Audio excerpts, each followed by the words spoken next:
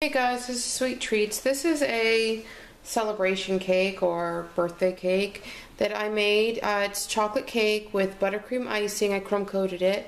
Then I did fondant on top. And I made this bow with fondant and gum paste, the top part. This part's just pure fondant. But up here the loops are all made out of gum paste and fondant. And then I made myself some roses out of gum paste and fondant. But here you go. It's just a regular celebration cake.